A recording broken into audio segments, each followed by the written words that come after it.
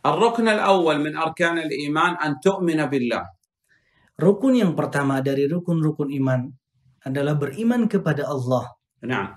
الإيمان بالله يتضمن الإيمان بالربوبية وبالألوهية وبالأسماء والصفات ونؤمن بوجود الله سبحانه وتعالى. beriman كبدا الله سبحانه وتعالى من mencakup beriman كبدا ربوبية الله dan beriman terhadap uluhiyah Allah dan beriman terhadap asma dan sifat-sifat Allah dan juga beriman bahwasanya Allah Subhanahu wa taala itu ما ada. الدليل على وجود الله Apa dalil yang menunjukkan Allah itu ada? الأدلة كثيرة ممكن أن نجمعها في أربعة أدلة Dalil sangat banyak sekali, akan tetapi kita bisa merangkumnya menjadi empat dalil.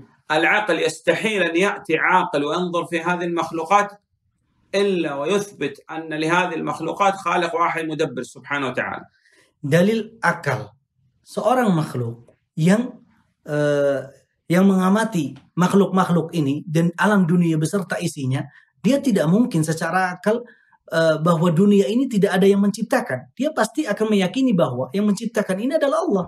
الثاني دليل محسوس ملموس ترى بعينك مثلا تسمع تقوم فيك عندما يكون لديك كرب وشدة تدعو الله سبحانه وتعالى فرجة تجد تجدها تنفرج قام النبي صلى الله عليه وسلم يدعو وإذا الغيث ينزل هذا دليل محسوس ملموس يدل على وجود الله Yang kedua, dalil his yang bisa dilihat dan bisa yang bisa dilihat dan bisa dirasa.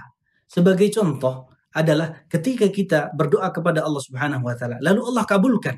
Ini adalah dalil yang yang terasa, dalil hissi. Sebagai contoh lagi, Nabi SAW ketika berdoa kepada Allah Subhanahu wa taala meminta hujan, kemudian Allah turunkan hujan. Ini adalah dalil hissi yang menunjukkan bahwasanya Allah itu ada. نعم الثالث الفطرة كل مولود يولد على الفطرة فهو يثبت وجود الله سبحانه وتعالى بفطرته Yang ketiga adalah dalil fitrah. Karena setiap ses- seseorang yang dilahirkan, dia beriman kepada Allah Subhanahu wa Ta'ala. نعم الرابع الشرع يعني الأدلة من الكتاب والسنة وهذا كثيرة جدا تثبت وجود الله سبحانه وتعالى والله أعلم Yang keempat adalah dalil-dalil dari kitab dan sunnah yang menunjukkan bahwa Allah Subhanahu wa Ta'ala itu ada.